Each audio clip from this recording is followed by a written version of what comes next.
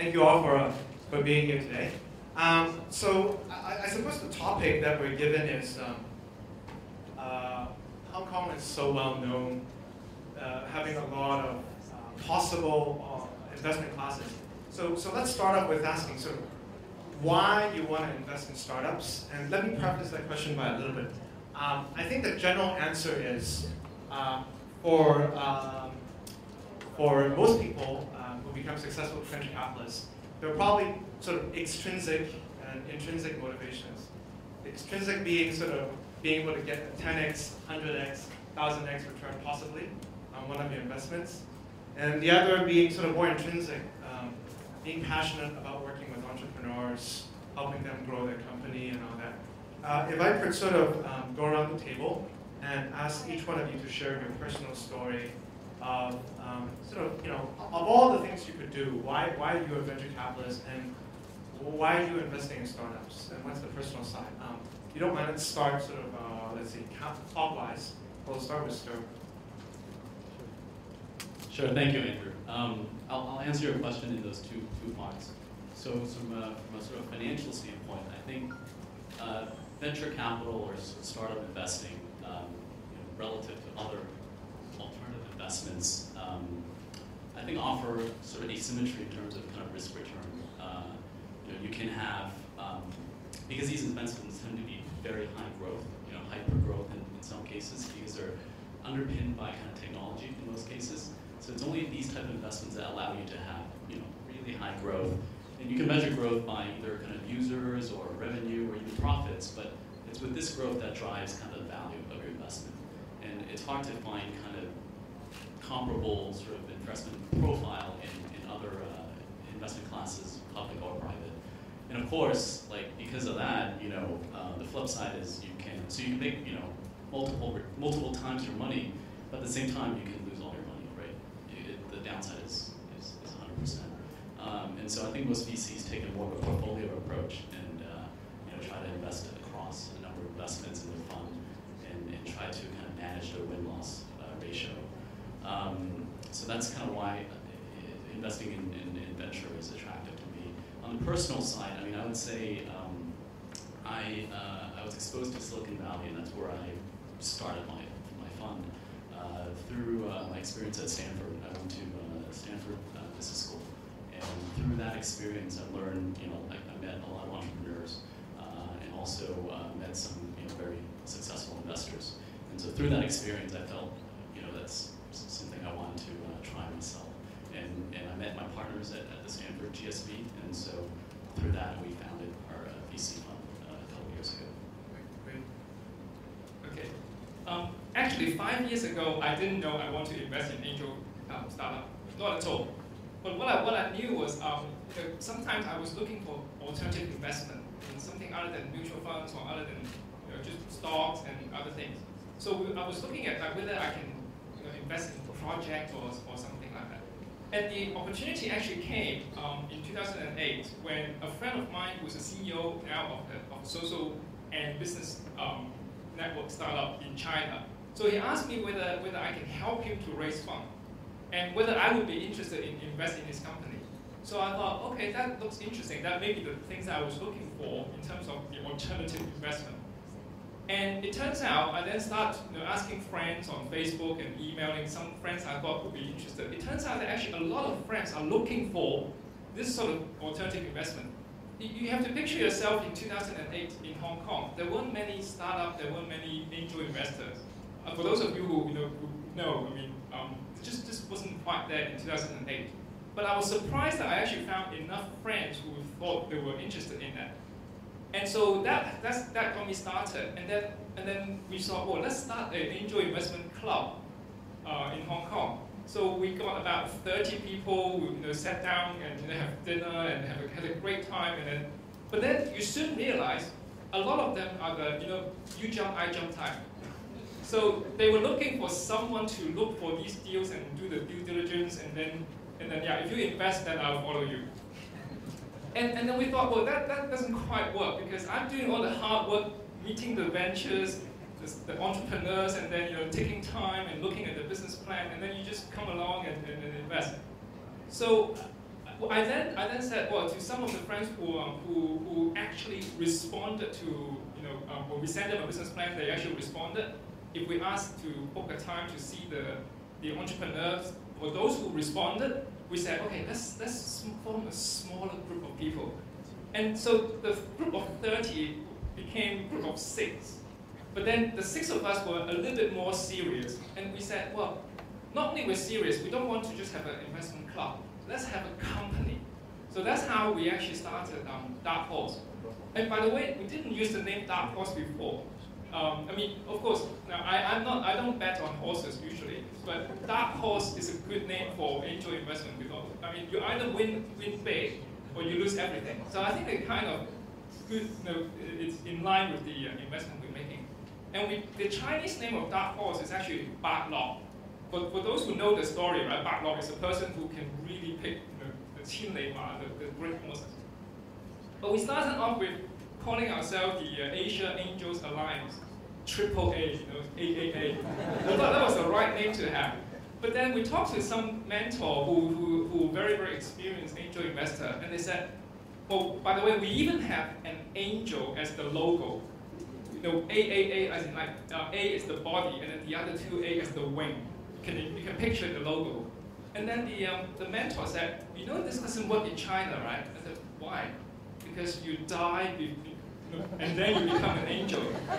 So, so that wasn't the right name. So we changed it to Dark Horse on his advice. So we were quite, quite pleased that um, uh, we did. Now, so how, once we discover we have this passion, I mean, it is an alternative investment. We are looking for high return. It's going to be only a small kind of portion of our personal asset. So we are, we are, we also, you know, we look at things that we, we understand. We, we, we try not to invest something that we don't understand. But anyway, that's a long, long answer to Perfect. your question. Perfect, thank you, Dominic. Um, Andrew, what about your story? Sure. Um, I think in in life, doing whatever you're doing has to be. I mean, you have to like it. Um, uh, if you have a passion for it, that's, that's even better. So why did I invest in startup, or why did I actually start a business to invest in startups? Um, it's actually quite simple. Um, two reasons. First, I want to start a business myself, so I'm actually a startup myself. Um, you know, I've started a fund for slightly over a year now. Secondly, um, I love technology. I've always been involved with technology in my career, and um, and in, in effect, when I left my old job at Alibaba, um, you know, I went through the thought process of do I want to start a growth equity fund? Do I want to go later stage? Um, or do I want to go earlier? So, you know, in, in coming in deciding to actually, you know, picking the stage of technology investments, I chose the earlier stage, which is you know angel um, angel stage or what I call the pre-series A stage. Uh, it's it's driven by um, myself actually being more opportunistic because I saw there was a big market opportunity for early stage technology investments in China. Um, so in starting business, I mean, besides being driven by passion and, and you know liking what are you going to do, uh, you also need to have some business um, judgment in picking the right opportunity or picking the opportunity, opportunity that you think is right. That's why I decided to invest in startup and um, you know Ameba is we, we focus largely on mainland China. Uh, we're an R&D fund and uh, why I named the fund Ameba and I think um, the previous speaker um, touched on some of the key points why I actually named the fund Ameba. Amoeba as you know is a um, you know it's a bug uh, but um, it's a very, you know, it's, you know, some call it a source of life, but amoeba, um, for me, defines survival. I mean, it's been around for a very long time, as everyone knows, and it's, it, you know, it's about changing and adapting to changes. So, for me, te- early technology investments is about surviving, especially in China, and it's about responding to external and internal changes in the, in the fastest possible way.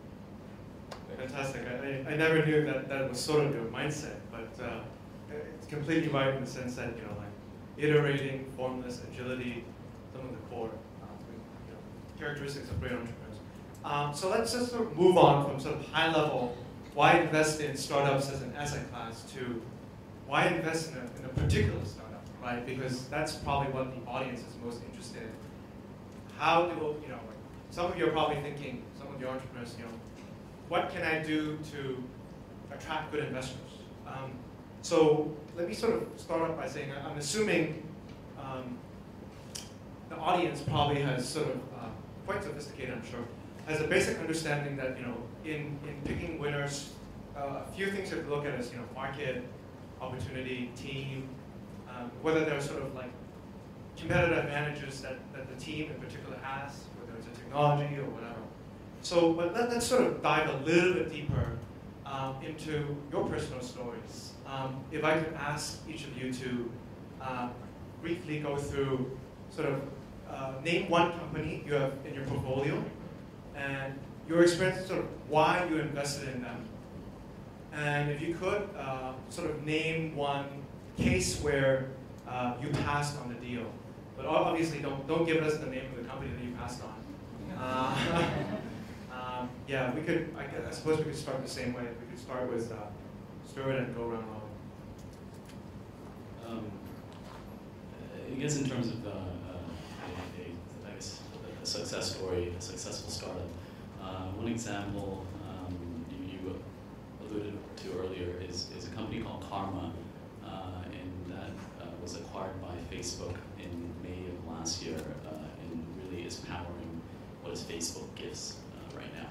And um, I think sort of to hit on some of those key criteria, I would say um, the team is, is very important. Uh, I met this person, um, the, the, founder of the company, co-founder of the company, while in, in business school. He was a classmate of mine, so I knew him three years before we made the investment. So you know, I, I kind of know him as a person uh, and have tracked his uh, uh, sort of um, experience as an entrepreneur before he even founded this company. He, he had previous successes before. Uh, he also worked with um, uh, another person, so it's a co-founding team uh, in the past as well. So I like the, the fact that they're they've had experience working together. Um, so that's sort of the team side. Um, in terms of sort of opportunity, what they do is they allow you to use mobile devices to send kind of virtual gifts to each other. And virtual gifts are not, and, and what they're targeting is not kind of virtual currencies or, or kind of stickers or flowers or things like that, but really um, what you can either either kind of offline items, sorry, online items like you know um, gift certificates, or even things that you can redeem in store, you know, like a Starbucks uh, card, or even things like that a offline retailer will ship to you. But basically, it allows using a mobile device to make gifting a lot easier. And I thought that was a important trend that was starting, and something that you know guys like you know Facebook, which is a you know a social network that was in search of more monetization uh, channels, was was, uh, was was needing. And so while we invested in this company that could potentially face a lot of challenges from these big guys. Can ever, um, that's I mean, sorry, Facebook can do their same thing themselves. I felt that these guys were smart enough and nimble enough that they can sort of outperform the big guy. And in fact, they developed quick enough that they built the product very quickly and ended up being acquired by Facebook uh, before their IPO. Um, because um, one of the key questions of kind of Facebook's IPO was sort of their monetization strategy, especially around mobile. Um, and so that kind of fit that need quite nicely.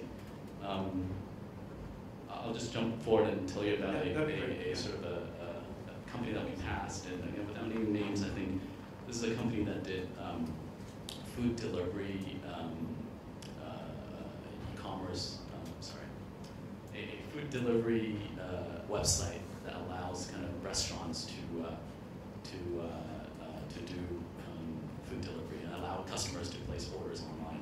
And so um, this is a U.S. company, and I passed because I felt that the market was was too um, was already being sort of um, covered by a few big players, like Grubhub, uh, like Grubhub or like. Um, uh, because a European company, Eatery, or Eatery, and then the one Delivery Hero from, from Germany. Seamless, Seamless Web, yeah, thank you. Um, yeah, I mean, those are big guys that have a lot more resources. And uh, even though this company was more of a startup and they were trying to do the full, um, full uh, uh, solution, so they were even going to sell like a tablet restaurants so that you didn't really the restaurants didn't need to have the right systems to hook up to, you know, the, the network. You know, literally all the ordering can be uh, be shown on a tablet that they would put next to the cashier. But um, I just felt the, the the company, I mean, the business was too competitive. Um, there's, there's too much competition, and also the, the, the go-to-market strategy just required too much. There's, there's a hard work component. Um, hopefully that, that that's uh, Great. that covers it. That's really useful. Um, and John, Um, an investment that we did um, was a e-commerce in China where they sell uh, pet accessories and pet food online. And the reason we invested in that one was because from the dark horse often look for co-investor, or, and or sometimes we have other angel investor which actually lead the deal. And that was one of these situations. We, we like that because First of all, you're not the only one that think they have, a viable business. So someone else also think they have a viable business, which is a good sign. And the, the other angel investor is actually um, uh, is a, is a Simon Murray group. So it's actually very, very uh, trustworthy and they have a good team. They, they even have more resources than us to do due diligence. So in these circumstances, I mean, um, you know, we, but we, nonetheless, we look at the, the material that they produce, we get to actually meet the team and so on. And at that stage, they, they were doing very well in Beijing. They, they actually tried to approach VC, but the VC said you're too small, you only have Beijing. Come back when you have Shanghai. So we actually invested at the, at the stage where they need to need the capital to expand to Shanghai, and they did. So they did get the VC round eventually, so which is, is, is good news. So I agree with Stuart, you know, what we invest in is the team. And in this case, they do have track record. They have shown us that they can conquer Beijing. Um, an example for a deal that we passed, I'll give you one simple example. We, we, there was someone who pitched this business plan to us saying that they're going to do mobile advertising. Uh, you know, um, quite common in a year or two ago. And we, the reason we passed was because they were telling us that they're the only one who's doing it and, and so on. But we have, already, we have already seen four business plans the week before. So we thought they didn't really understand the market, they don't know about their competitor. So that, that just, you know, didn't cut it. Andrew. Yeah, sure. Um, so, I mean, I'll, I'll just, I, th- I think both um, Stuart and Tommy touched on, I think, the key point. If you're in early stage investment, um, I invest in people. I used to, in my old job, I used to invest in, you know, public companies or larger size companies, corporate insurance, but when you're at the kind of like, you know, Series A, pre-Series A stages, it's, it's about people that can, whether they can pull this thing off or not um, as long as they're actually addressing uh, a real need, a real, a real problem. So, um, as an example, I mean, um, I invested in a company called um, Mogujie. It's probably the fastest growing internet company in China last year. And um, why did I invest in them? Um, for, for a few reasons. One, uh, I knew there was a real problem. So what, what do they do? They, they basically social commerce site um, where their audience of young, um, you know, I would say just females um, between the age of 18 to late 20s, early 30s. Uh, what is the problem? The problem is it's getting harder and harder to find the things that you want on Taobao. And, you know, being in Alibaba, you know, I, I guess I had that inside track knowing what the problem is. So that's one, there's a real solution, there's a real problem. Secondly, I know the guy. Um, he used to work at Alibaba, he used to work at Taobao, had great credentials, great track record. So when I heard that he was, you know, leaving the company and doing his own thing, I immediately looked him up. Um, I, I didn't do a lot of diligence. You know, I knew, I knew what he did before. So he told me, he told me about his idea, told me, uh, showed me um, his, his, his product, and I said, let's go. Um, so it's a team, it's, a, it's, a, it's the person. Um, now, and, and, obviously they, they, they, you know, they've grown uh, to be quite well. I looked at over 400 companies or teams last year. Um, why didn't I, why did, didn't I? So I made 15 investments so far. Why didn't I invest in the, in the rest of, of, the, of the companies and teams I visited? It's, it's the same reason of what I've said um, in my example why I invested in Mogujie.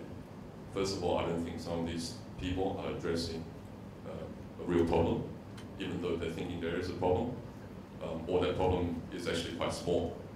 Secondly, uh, the, the person or the group of um, people uh, in, within the founding team, uh, in my own in my own views, have high risk of pulling this off.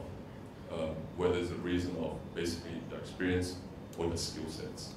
So typically you find um, someone that's doing from an engineering background, technology, very, very, very engineering background, doing something that's, you know, um, or doing a service or doing a product that's very sales-driven, consumer-driven, whereby, um, you know, having a, pro, uh, a background in product development uh, would actually make uh, that, uh, that, that business even more successful. And conversely, you find a lot of people with a product or more commerce background trying to do something that's very technology driven. So, you know, the, the risk of doing something that maybe you're not capable of, or maybe you don't have the right experience, the right skill sets to pull this off, is, is another reason why you know, I pass on a lot of this. Instead of giving an, an exact example, yeah. Perfect. So, so um, to, to synthesize sort of what, what you just said, um, in, in VC circle, we always talk about product market right? You have a great product, you can find a market that actually wants it. So it sounds like what you, you're, you're saying is, all you're saying is, there's also, alludes to an earlier question earlier, how do you decide whether someone is investable, right? So it sounds like what you're getting at is there's also a team product fit. Is this the right team for a particular product? So um, any one of you want to sort of elaborate on that? Like, I think Andrew, you did a great job to start. Like, um, for example, if you want to challenge Facebook, you certainly wouldn't find someone who's, uh, you know, uh, who's not exactly in the sort of young, viral, social demographic to do that.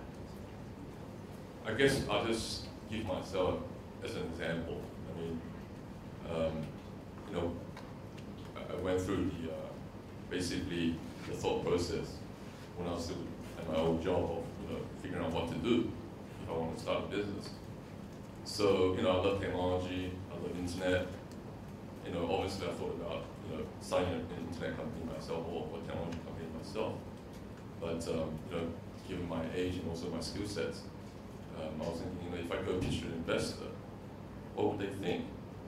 So, you know, given my background, what I've done over the last you know, 10, 15 years, a lot of that's actually in finance driven. And which comes to today, I mean, why did my investors give me the money to manage? Because they think, Andrew, I think you can probably do a decent job at this. Whereas, hey, Andrew, you're actually starting a product that's you know, a mobile app, that's a dating app. Andrew, what are you thinking? Do you really want to leave Alibaba to do this?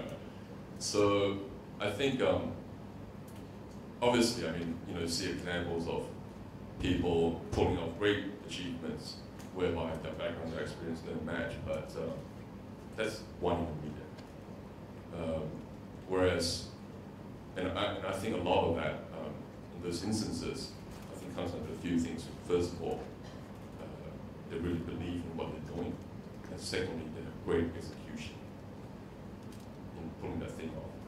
Whereas for most people, I think, you know, if if you believe in something and you know you have the basically low hanging low hanging resources to, pull this off from a you know risk reward basis, this is probably the best thing or best opportunity to pursue. So when I evaluate investments, um, I tend to think on those lines. I actually spend a lot of time on understanding why do they want to do this thing that they're trying to do, and drew on that finding out exact reasons of what are the real motivations in wanting to leave that company or in wanting to start this product or wanting to do these services. Uh, what kind of, I guess, work have you spend, what kind of time you actually spend in evaluating this opportunity that you're trying to do, rather than, you know, uh, what do you think your revenues are next year, what is your P&L, etc. Anything you want to add? The other two answers, should we move on? Um, just want to add, I, I think this is where you know, investing in something you understand becomes important um, because otherwise you can't tell whether the team can deliver. You, you need to at least understand a little bit on the industry, a little bit on the business model, and you, you have some gut feel about the market. And the implication of the business model, then you can say, okay, I think this team has a good fit.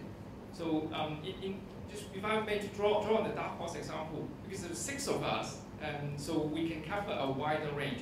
But if, if we get a business plan, you know, someone sends us a business plan, we'll pass it around to the partners, and then if none of us say we can, we can champion this, then we pass. Okay, so, so um, let's sort of take this one step further, right? So we've talked about why invest in startups as an asset class, and then we talked about why invest in a particular company. Let's sort of get even more local in the sense that um, why invest in a particular company from Hong Kong? And um, I'll give the panelists a little bit of time to think as well because I know I didn't. I, I, none of the questions were, were prepped earlier, so uh, it's, a, it's, a, tough question. Um, so uh, while I sort of introduce this topic a little bit, you know, start thinking if you could. Um, so we all know that Hong Kong has some sort of unique competitive advantages in Greater China?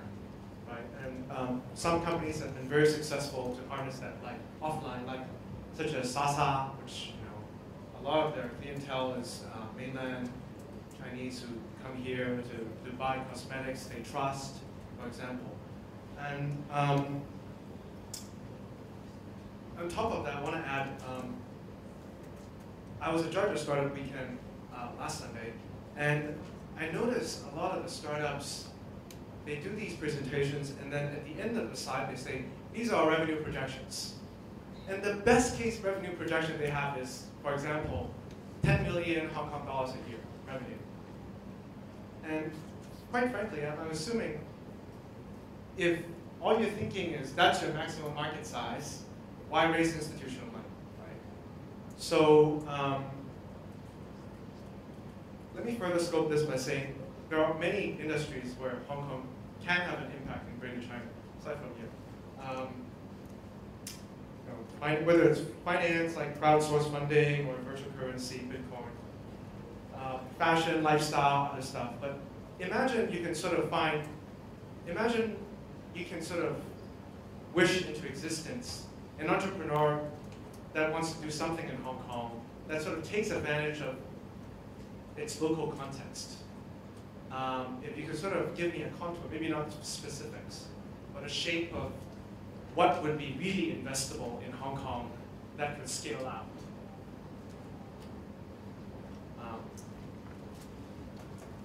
Actually, let me, let me talk about um, what you need to do, let's to start with. I, I, I, have to say, for, for the investment we make since 2008, none of them are in Hong Kong, unfortunately.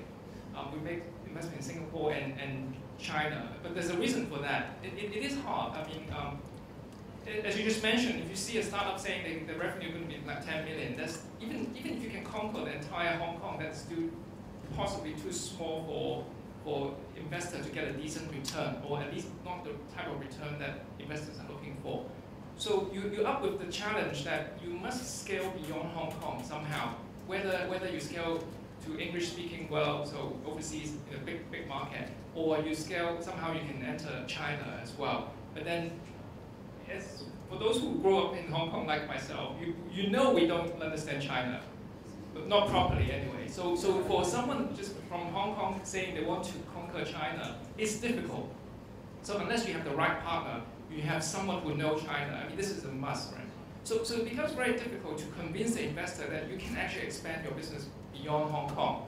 And, and that's a, a big barrier at, at, at, at the moment. Um, what I also found is sometimes we, we have a lot of startup coming to us and they, they cannot distinguish between angels who are investing in something very, very scalable versus something that's not actually scalable, but it's still a good business to have like one shop or two shops or three shops. Um, so, so these are the key, you know, key obstacle I, I see in Hong Kong, the scalability. Um, anything, Andrew or Stuart or, or time? I mean, I'd, I'd say um, I'd say the source of capital is also maybe a um, maybe a challenge yet an, an, opportunity as well, right? Because the, the, the, the funding environment is not as sort of well developed as say, you know, the entrepreneurial network in China or, or even obviously this versus Silicon Valley. Um, you have, but you have a lot of you know, you have a lot of investors here that are not sort of uh, very experienced investing in sort of startups. And so that, that you know, is an opportunity as well uh, on the flip side, right? Because you, um, there may be a lot of capital, but there aren't a lot of sort of risk capital, uh, people that are willing to kind of invest for, for risk. And so if you are, you have, you know, good, good eye for opportunities and you find them, uh, and you can, you are a sort of experienced and resourceful investor, um, you, you can, you know, you don't have a sort of a sourcing problem uh, or origination problem in terms of deal flow that you might see elsewhere, like Silicon Valley. You know, Silicon Valley is extremely hard to, to find. There may be a lot of good companies, but it's also very competitive for investors to invest. So why I think Hong Kong it could be an opportunity as well. Yeah, I think uh, I don't think we want to make it sound like you know it's kind of like mission impossible to do a startup in Hong Kong. It's not so, and and really my my my head up to you know, a lot of you out here today that's actually doing a startup in Hong Kong um, you know, if you can conquer this market or conquer the kind of like, you know, tough parameters that you face, I think, you know, your, your chance of being successful is, uh, is even higher compared to the other players. And, you know, I, have been involved in the startup community for around 15 months in, Hong Kong. Um, you know, I, I personally seen it you know, grow in terms of the velocity as well as the community over the last 15 months, um, thanks to you know folks like CoCoon supporting the community. Um, I think Hong Kong started still in a very early stage because of the two inherent problems, which you know, both Dominic and Andrew have addressed, you know, market size capital. Um, I don't think market size is an, it is an issue, but it is not a critical issue. Uh, I think as the community grows and matures, and there's more success stories coming up from Hong Kong, the capital will come. Investors are, you know, they're, they're a bit of a sheep. Um, although they're risk investors, I'm not, I'm not saying, obviously we're different. Um, although, although, although they take risk, but they're also very risk averse. So as, as Dominic said, I mean, you know, um, if there's a group of investors out there that wants to invest in this deal, are followed. So you can see the kind of mentality facing uh, a lot of the early stage investors out uh, of the 15 investments I have, I actually do have one Hong Kong-based company uh, in one of my early investments. They're doing pretty well.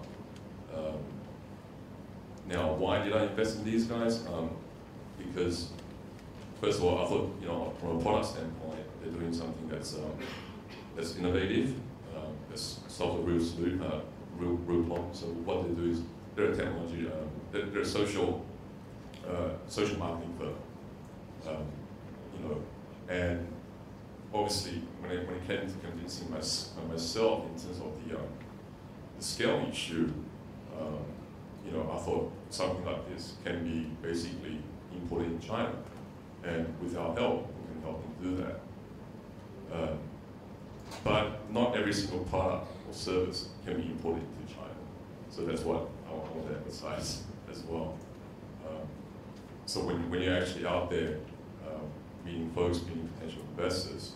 Um, I agree with Dominic. Don't, don't say, you know, so close to China. Um, that's an immediate uh, potential market because, as we all know, that's two different markets, two different environments, two, two different set of challenges. One thing I, I personally believe uh, Hong Kong startups, uh, one, of, um, one of the few things, the other things that I'm not aware of maybe, uh, is mobile because, um, you know, mobility, I think, in Hong Kong uh, is ahead in terms of other countries, in terms of technology, uh, uh, technology development, uh, also in terms of users, basically um, acceptance. So, and, and you know, mobile, you can scale anywhere. And it solves a lot of the scaling issues that, that other businesses uh, have. And, you know, I think um, that's one area which, uh, you know, Hong Kong startups or Hong Kong-based startups can do very well. Great. Um, we have three minutes left, so so if I could, uh, yeah. Um, yeah, go ahead. Ask, ask a question. Or you, you don't have a question I have a question. Okay. Okay.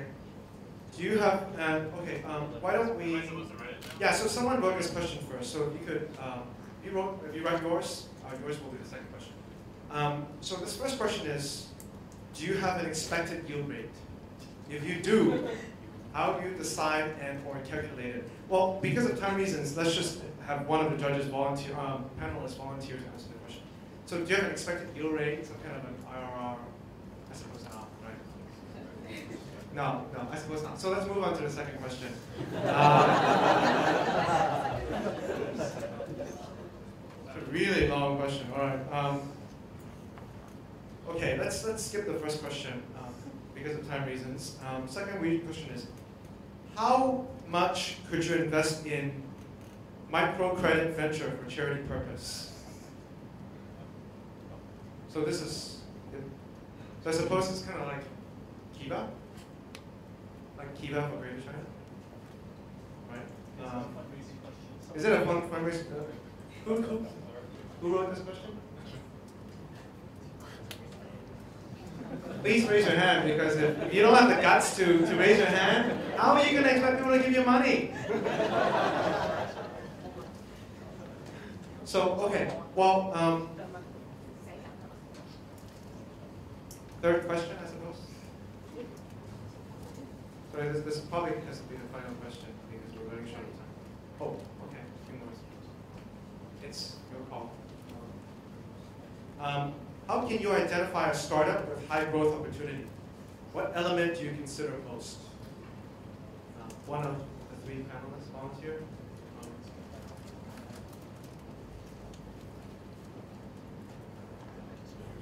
Sorry, question again is how do you identify a startup with high growth opportunity? What element do you consider most? So let, let me, let me rephrase that question. Um, by definition, you want to invest in startups that have high growth. So which element is most important? Market, people.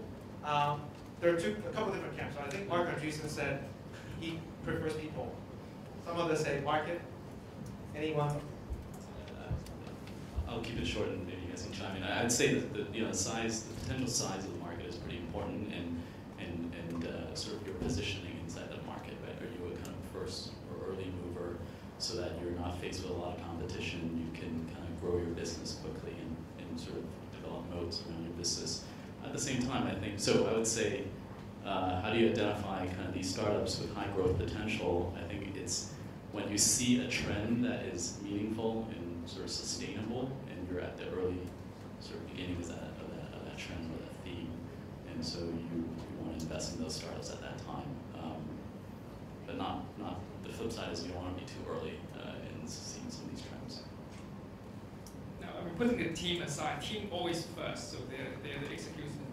so the, the market size, I always have this mental map of the two by two matrix. You know, is it a new solution, new market, or is it an old solution, old market, or new solution, old market, or, or old solution, new market? These one. So, so you, if you are a new, new solution, new market, then you are the innovator, right? You're really starting something completely new, and it's going to be venture into a new market, like um, I don't know, uh, like PC in the, in the old days, right, when the first personal computer came out. Who, who would predict that it would become such a huge market, right? Nobody knows. But certainly, I don't want to invest something in the old market with an old product. That even if you can scale, that means you're just competing for market share. So for the market size question, I need something that is you know, probably a new solution in the old market or a new solution in the new market. That would probably give me a scalable business. Andrew, anything you want to add? No, I, I just think, you know, I'm, I'm, I think we all are in the business of in, in, investing in innovation, whether it's small or big. So a lot of times you, you actually don't know the growth is coming from. Um, and I, for me, I learned a lot about what's happening in the industry from the startup guys, from the founders or people themselves. And I think you, if you're thinking about doing something, uh, you should generally have that knowledge yourself. So for me, at the end of the day, I think I'm, I'm in the Andreessen camp. It's about whether you can pull it off or not. Great, great. So um, due to time constraints, um, well, um, um, yeah, let's skip these questions. And if you really have these questions, you know, talk to, go up to these people, shake your hand, give your business card, talk to them, ask them about these answers. Um, so um, to that, let me sort of wrap up with 30 seconds. Thank you for, uh, for the three panelists for being here today to share your insight. And uh, thanks to CoCoon for organizing the, this event. Um, well, let's move on to the next uh, panel. Thank you very much.